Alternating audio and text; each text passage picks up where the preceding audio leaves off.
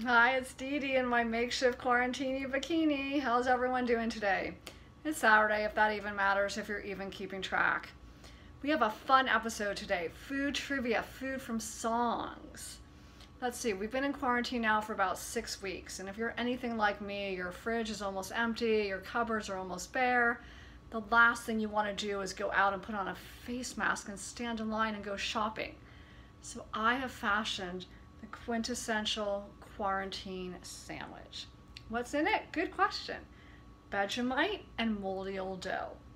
Who can forget the classic Men at Work song, Land Down Under, where she just smiled and gave me a Vegemite sandwich?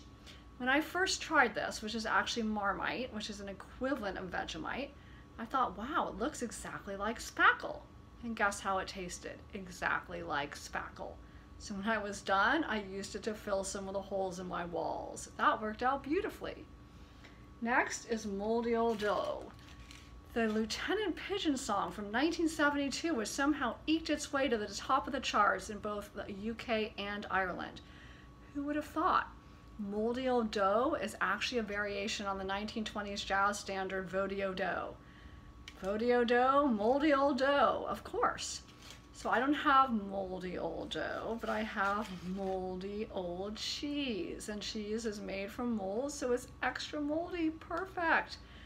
So I took these two luscious ingredients and I fashioned the quintessential quarantine sandwich. I would love to hear your suggestions for your quintessential quarantine sandwich. And why not wash it down with an ice cold Corona beer? Thanks for watching. Stay healthy.